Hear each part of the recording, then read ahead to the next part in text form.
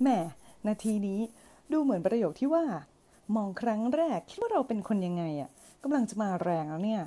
หันไปทางไหนใน Facebook ก็เห็นแต่ลูกศิษย์ลงแต่คำถามนี้อะเราก็เลยมาดูกันบ้างดีกว่าว่า แล้วประโยคนี้เราจะใช้เป็นภาษาอังกฤษได้